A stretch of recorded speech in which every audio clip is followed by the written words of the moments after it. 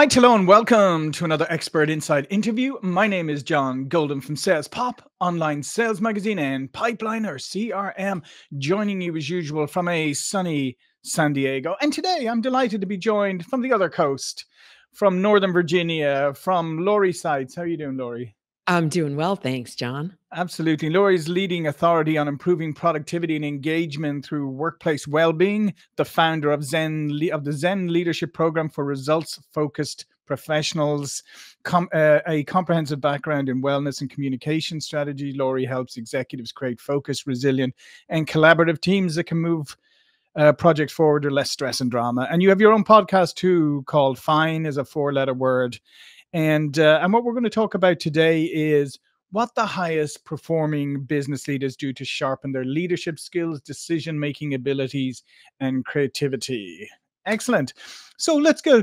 Let's get to, let's get straight into it. Um, the highest performing leaders are ones who are always always working on improving right? They're uh, and working and uh, the ones who have this you know continuous improvement continuous learning that kind of uh, that kind of ethos. Absolutely. They're they're practicing uh education they're continually educating themselves both professionally and personally. Mm-hmm. and and it's not just in the topics that you might think. It's not just like how to be a better mm-hmm. salesperson for example yeah, yeah. So, how do you think? Uh, how, how do you think um, leadership skills? How do you think they have started to evolve as we're going through these rapid changes? I mean, for instance, like some people say we have five generations in the workplace. Somebody said six. I don't know. What I mean, I'll believe anything at this stage. There seems right. to be. Um, but how, arbitrary. yeah. How has that impacted? You know, it, it, there's so much change, so many generations. How has that impacted leadership skills? You know, I think it doesn't, it, it's almost not even just generational. It's just that people are raised so differently. Everybody has a different way of looking at the world. And so, how do you communicate with somebody when you assume that they, everybody thinks the same way you do, but they don't? Mm-hmm. And so, it's being aware that everybody comes from their own place. And how do you communicate clearly what um, what you're trying to communicate so that they understand it and and can follow whatever the instructions or you know they can understand your ideas so i don't know that it's so much generational as just being aware that everybody is different and mm-hmm. everybody operates in a different you know on a different um I don't know, different level, but just from a different um, from a different background. Yeah, yeah, yeah, and and I think a part of that too is, I mean, the the big challenge today is once upon a time, uh, whether it was effective or not, uh, you know, leaders leaders tended to communicate in one way, right? You know, right. put a message out, whatever. Everybody, you know, and everybody gets it. Now you can't. Yeah, you, you have to tape, uh, tailor your message to different audiences because people receive information in so many different ways and have so many different preferences. And I guess to just layer another issue on top of that you may have a, a, globally dispersed organization. Some of them may be in offices, some of them may be remote, some of them may be long term contractors. Right, exactly. And so it really comes down to um, to leading like becoming a person that people want to follow and when i say follow i don't necessarily mean i tell you what to do and you follow my mm. instructions yeah somebody who is inspiring who is someone that people can respect and buy into the um, the vision and then want to be on board want to be engaged in that kind of um, in that mission yeah. so what are some of the things that leaders can do in order to get that level of engagement yeah one of the things um, you were talking about what i had mentioned about what are the top performing business leaders doing what are they practicing and there are two concepts that they mm-hmm. practice that uh, well maybe three concepts that they practice that a lot of people don't necessarily attribute to leadership because they think it's uh it's too soft and also it may be too easy but we can get to that in a minute mm-hmm. the first one is is meditation mm. and there are a lot of business leaders people like um like bill ford the chairman of ford motor company and um richard branson and Ray Dalio. And I love using Ray Dalio because he is, if people who are listening don't know, Ray Dalio is like one of the OGs in on Wall Street. Mm-hmm. And Wall Street is about as far from woo woo as you can get. And yet he has, in many interviews, talked about the importance of his meditation practice to his success. Mm.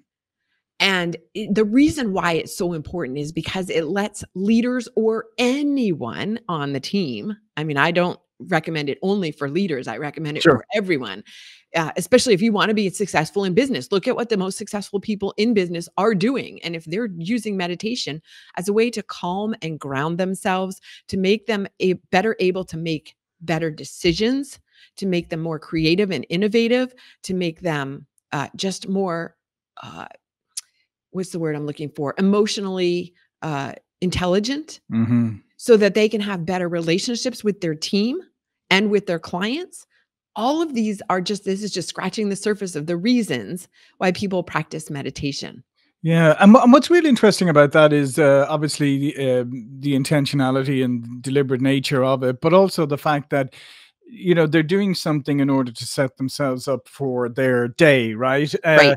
as opposed to to say you know we live in this world where you know people just feel unfortunately like wake up in the morning grab their phone start looking on social media start yeah. looking on news sites and before you know it their day is started they're they're frustrated or they're distracted or whatever it's the complete opposite like their mind is a frenzy it's a complete opposite of having a calm mind coming into your day Exactly. That's exactly it. And what you just described is absolutely the worst way to start your day. It, yet most people do that. And it's just out of habit. And it's about developing a new habit. And we're not talking about, you know, people have this misconception around meditation that, oh, well, I don't have time because I don't have time to sit for an hour on a mm-hmm. mat cross-legged yeah. with um, no distractions and, you know, nothing going through my head. But studies have shown that even five minutes in at any time of the day but especially in the morning because you're like you said setting the intention for your day 5 minutes. Come mm. on i mean 5 and that investing that 5 minutes is going to save you time down the down the road throughout the rest of your day because you're going to be more focused and more productive because you'll be able to get things done faster. Yeah and and i think part of that is you if you can't do that and uh, i mean you have to ask yourself why can't you yeah. Why can't you spend five minutes alone with your own thoughts? I mean, that's just I just think everybody that's a question everybody should ask themselves because and uh and part of it is because we live in a world today that tries to prevent you from spending any time with yourself and or your right. own thoughts. It just tries to distract you all the time and entertain you and all of this kind of stuff. Um, so I think it's a great it's it's a great point, and I think it's something that people should ask themselves. If you can't quiet your mind for five minutes, what's going on? Yeah, exactly. And do you want to be, all of those outside factors are programming your mind. So, mm. do you want to be in control of it or do you want them to be in control of it? No, absolutely. And then what are what are some other ways that uh, you know that uh, top leaders uh, you know what are what are other some other tactics that they use? Yeah, they practice another concept called gratitude. Mm, yeah. and they express gratitude in in many ways for their team, for their situation, no matter what is going on around them. And they they actually express that gratitude and not just, hey John, thanks. Thanks mm-hmm. for being, you know, but specifically, thanks, John, for your contribution today. That was really important because this, this, and this, like being right. very specific. You know, the thing is, very few people get enough uh, acknowledgement for their value in the mm-hmm. world, in the workplace, and in the world in general. And nobody is saying, no more gratitude for me today. Thanks. I'm full up, right? They don't. yeah. Yeah. You know, this is such a, this is such a profound point because it's, it's weird as humans, you know, we're hardwired to we're hardwired for the opposite, right? I mean, we're fantastic at catching people doing things wrong or not the way we think. We're great at, um, we're really bad at catching people doing things right.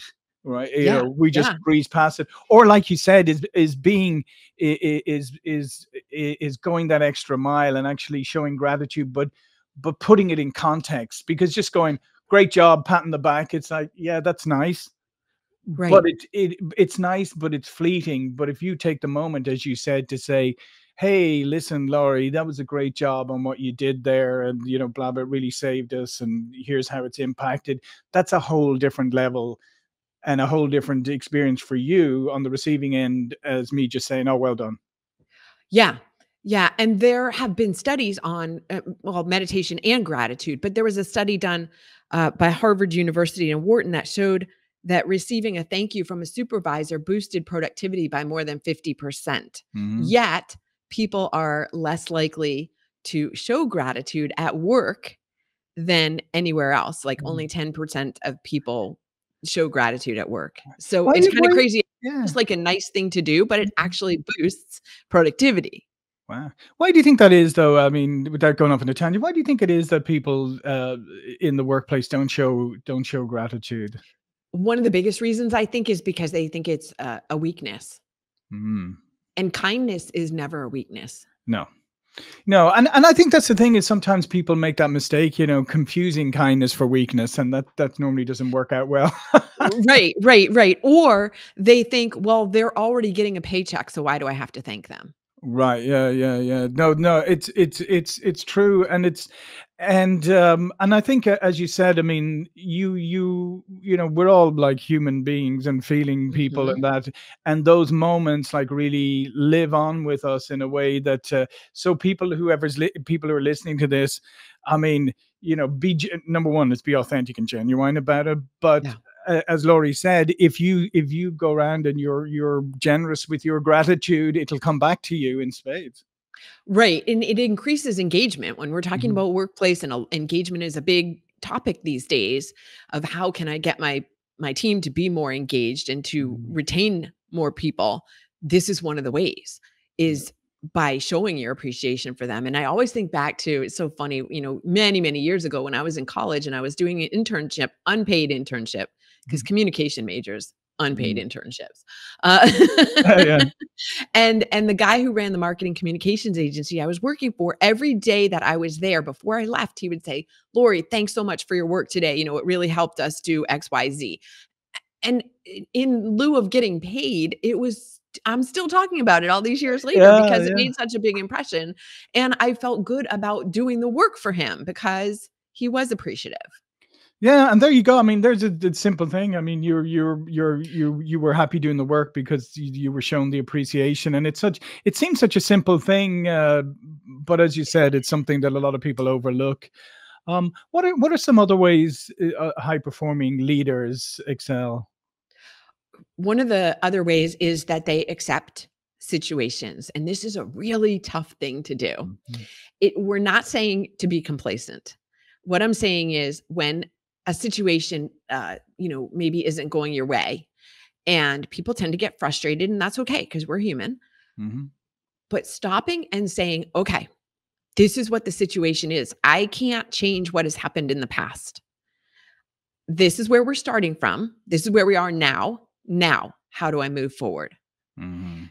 instead of getting stuck in spinning of well you did this wrong and this is how this went wrong and and all of the things just be okay this is where we are now how do we move forward and that acceptance in any situation is so difficult for humans Yeah, yeah. No, I I was uh, used that Jack Welch quote. Uh, it's face reality as it is, not as it was or how you would like it to be. yeah And and, and I agree with you. I think that is the t- toughest thing because um, oftentimes, you know, you, people get distracted, as you said, into doing an autopsy on why, you know, why we're in the situation we're in today, instead of going, let's let's accept it, move forward, and then we can come back afterwards and figure that piece out. But right now, you know, let's let's just accept that we are where we are, and we need to put one foot in front of the other. Right, right. That's not to say, right, what you said, like looking back and going, Yeah. okay, where did things go wrong? So we can correct our process Sure. so that it doesn't happen again. And at the same time, we're not saying, oh, well, this is what happened. Let's just like, but Yeah. moving from this place and, and then moving forward. And um, again, I was going to say from that place, when you accept where you are, now you can make better decisions Mhm. moving forward, which is another issue around, um, you know, when you're a leader, you have to be able to make better decisions. Yeah, and and I think decision making is is really fascinating because it's something that uh, you know we're we're not that good at really is making decisions. We're not good at because you know we we we like options, and then we get into this whole thing. Whereas, uh, well, if I choose this, I'm unchoosing that. But if I Yeah. choose, and and we can get ourselves kind of paralyzed in many ways. Right, right. And so, again, coming back to meditation, Mhm. when you are practicing meditation, your mind is calmer even when you're outside of a meditation, and it helps you focus better and it helps you make better decisions because you're coming from a place of groundedness instead of a place of of chaos and um, you know, having all of those uh those options going, okay, well, should I do A? Should I do B? Should I, Mhm. you know, people turn into squirrels. they like Well, don't yeah, know which side of the road to go to. Exactly. So how did how did the top leaders how did they how did they make their decisions? Uh, well, again, I think coming from the place of uh, being calm and grounded, saying, okay, this is where we are. Now, where do we move forward? And evaluating all of the options. And then I'm going to say this, and I know a lot of people are not going to necessarily agree with me, and I'm going to say it anyway, and I'm going to stand by it. Mhm. They they use they they tap into their gut and go, I, this feels like. I mean, yes, they consider all of the the facts and the stats and all of that stuff.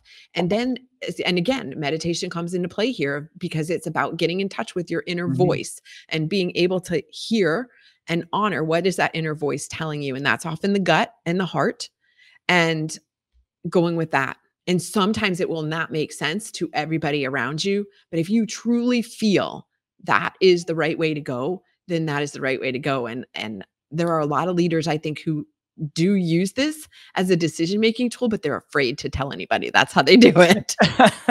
no, I would agree with you. I think we've, uh, I think we underestimate, uh, you know, gut feeling or gut instinct. I, I think we relegated it in some ways. Um, Mhm. I d- and and I'm not advocating for just going with your gut all the time. It's but it is it's a data point like other data points, and I think if you if you if you ignore it as a data point, you do so at your peril. Right. I mean, there's a reason that we have that term of going Mhm. with your gut. It's because there's so much uh, information. It's actually smarter than our brains, Mhm. our gut and our hearts. Our heart's um, electro- electromagnetic field of the heart is 5,000 times greater than the brain.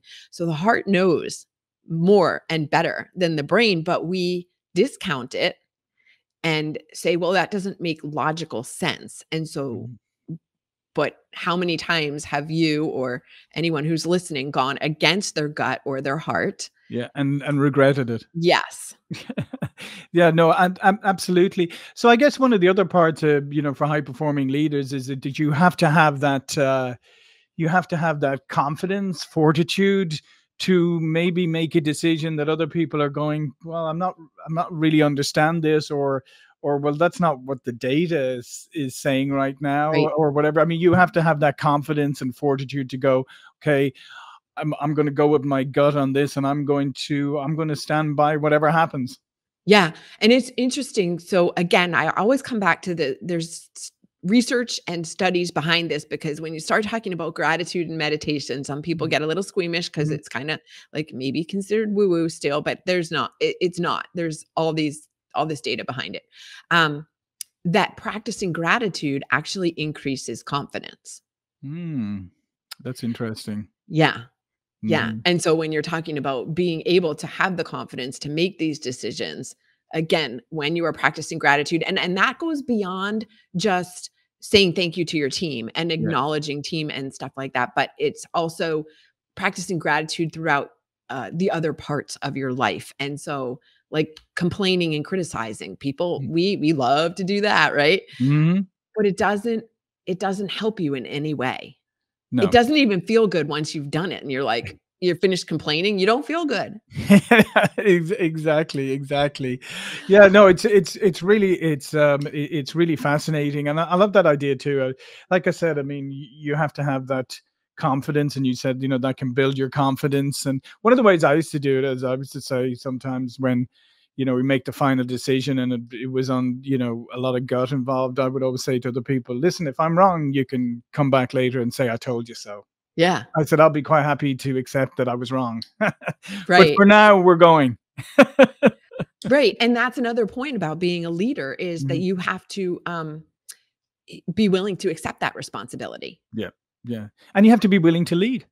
Right. Right. yeah. Um, and I think that sometimes, you know, you know, especially nowadays, I think some leaders get really kind of paralyzed about that actually leading because somebody has to eventually say move forward, and you Right. can you can get all these inputs and all these data, and we have access to so much today that you can literally um, you can literally make sure that you never move forward because there's Mhm. always another data point. Right. Exactly. Yeah. Yeah. And um and again like that's where the meditation practice comes in in helping you feel confident, feel secure that this is the way to go and all right, enough data. Yeah. Now we move. Now we move exactly. Well, listen, Lori, this has been fantastic. Uh, all of Lori's information is going to be below this video. But before we go, please do tell people a little bit more about what you do. Yeah, so I work with business leaders and their teams to help them um, learn these tools and techniques that can help them be more focused, more productive, more uh, calm and grounded, and ultimate, ultimately more profitable. And the name of my company is Zen Rabbit. And yeah, you can find me on LinkedIn and all the socials or zenrabbit.com. Yeah, zenrabbit.com. Zenrabbit shouldn't be hard to find. So, uh, listen, thanks again, Lori. Thank you for watching and listening. And I will see you all again very soon.